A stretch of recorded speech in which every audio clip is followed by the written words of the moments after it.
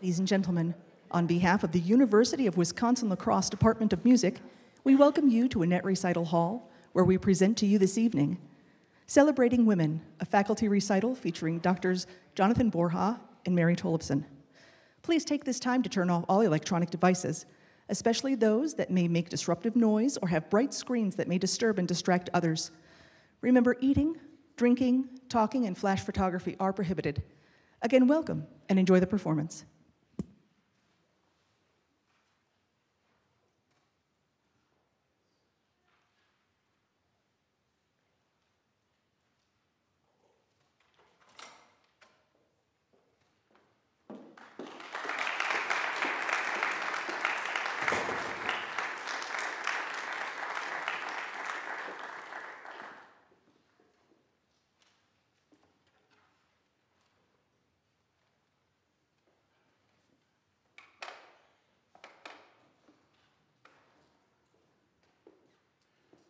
Good evening and welcome. Thank you for coming. So tonight we're going to be playing uh, about nine pieces. Yeah, yes.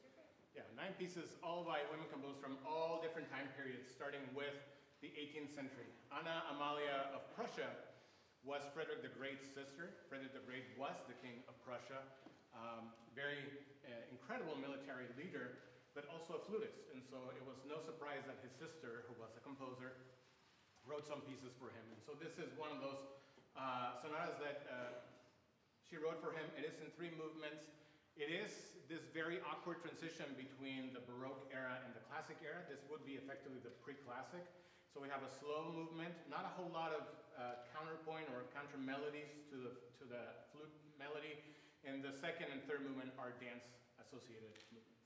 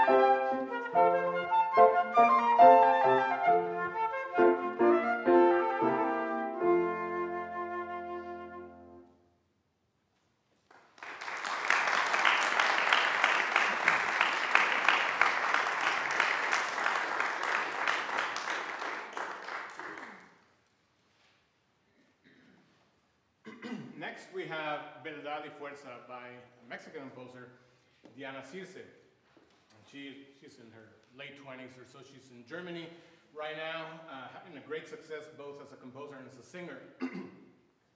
but she wrote this piece back in, in the 90s. Uh, so it's an early piece of hers. And one of the things that I discovered about this piece is the actual word beldad. Do we have any of Spanish faculty here today? So beldad is a word that means women, female beauty.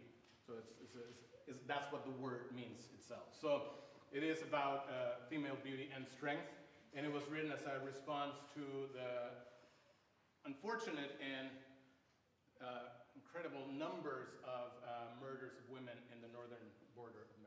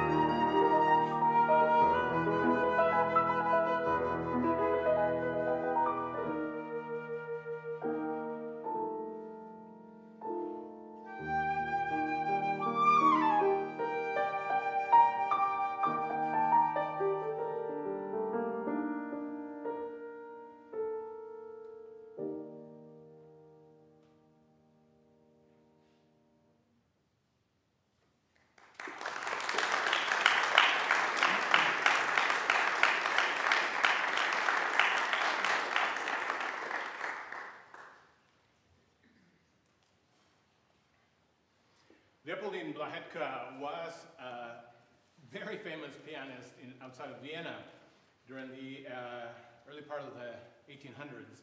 She was actually encouraged uh, to take piano lessons by Beethoven himself, and she actually studied with Czerny, who, if you've ever played piano, you will have played Czerny uh, scales. Um, and her music was actually published in music journals, which were new at the time, including this set of variations. So that meant that people who would buy those magazines would get this music. So she was well known and actually toured all over Europe, but she was very well known as a composer.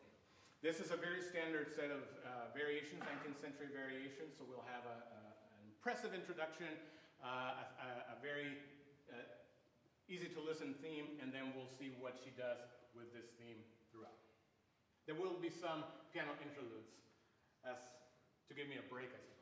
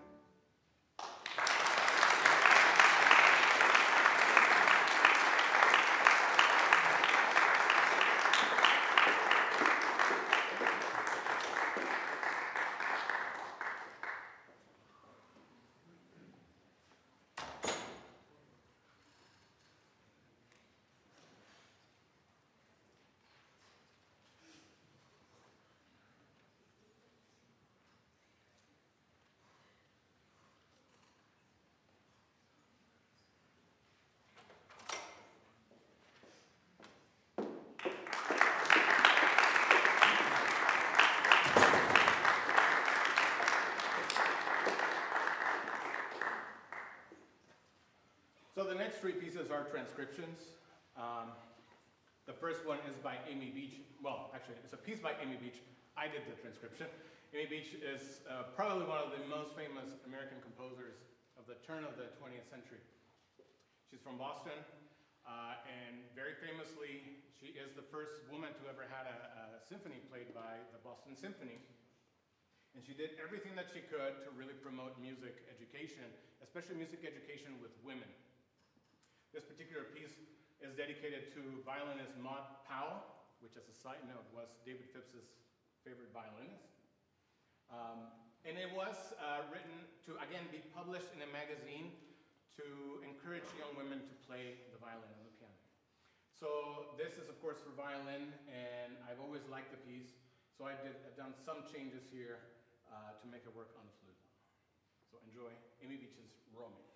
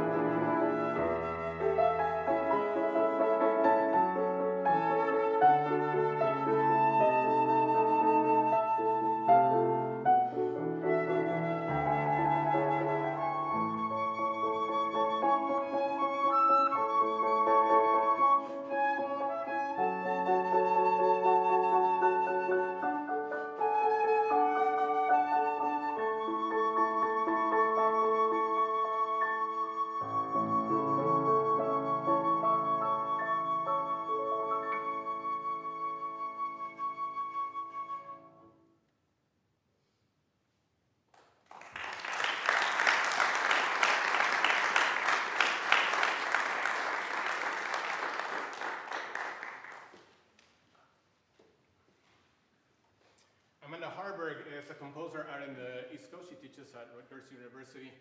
And she wrote the prayer originally. It is the second movement of her concerto for viola. Uh, but it has become incredibly popular, and she's done transcriptions for all instruments. And of course, during COVID, this became sort of the anthem. In fact, there was in the Flute Association a, a prayer project where they did a version for flute ensemble of this piece. Um, it is originally, like I said, for viola, so much like the Amy Beach, there's not a whole lot of places for me to breathe, but uh, we'll see you at the end.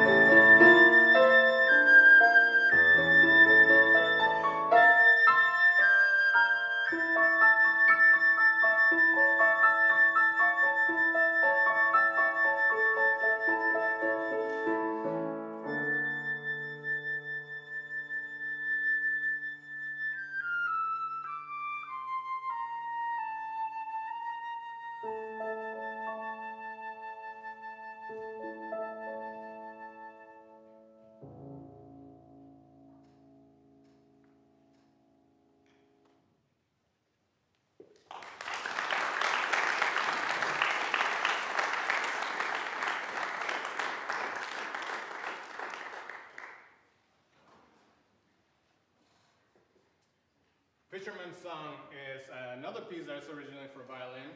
I didn't do the transcription. Um, and it is really hot off the press. I really, we just found out about it in August, and I was at the flute convention, and they had it, and it sold out, and I'm glad I did get the first copy that I was there.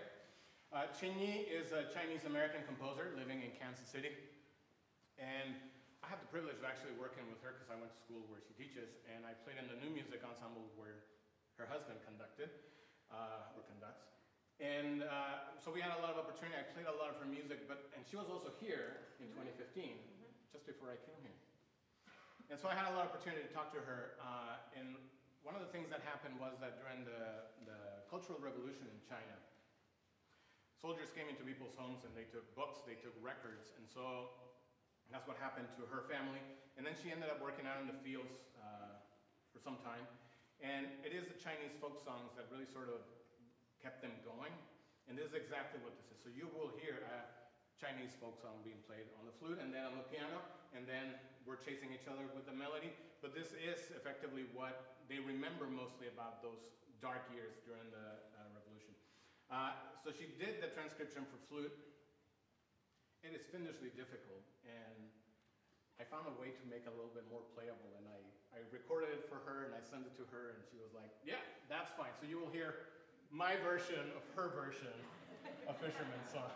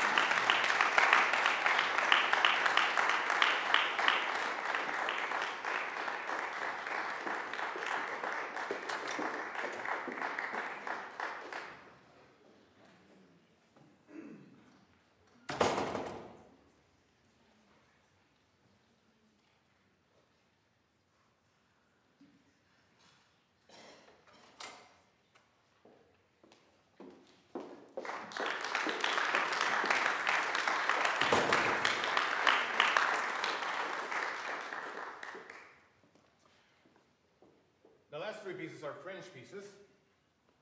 The first one is a nocturne by Lily Boulanger. Lily Boulanger is one of the most significant composers of her generation, but unfortunately she died fairly young. And so her sister Nadia, who was a very famous teacher, did all she could to promote her music, but to this day is still relatively unknown. And uh, fortunately, uh, I mean, again, this is also probably hot off the press. I was in, I was in Paris this summer, uh, and here's my plug uh, for the preparing for the study abroad program that you can all sign up for. Um, anyway, uh, and I was at a music store. You remember those? And so I went in and I bought some things, and I was already walking out, and I saw this book that said Lily Boulanger Complete Works for Flute. And I was like, oh, okay, let's go back and buy that too. And so this is coming from that collection. But again, oddly, it is, it was, it was brand new. The, the lady at the store said it just came in. So brand new uh, printing of this nocturne. Uh, short piece, but you will hear uh, quotations from other composers. So there's a little bit of uh, Wagner in here, a little bit of Debussy, Afternoon of Lafon, and so on and so forth. So enjoy Lily Boulanger's Nocturne.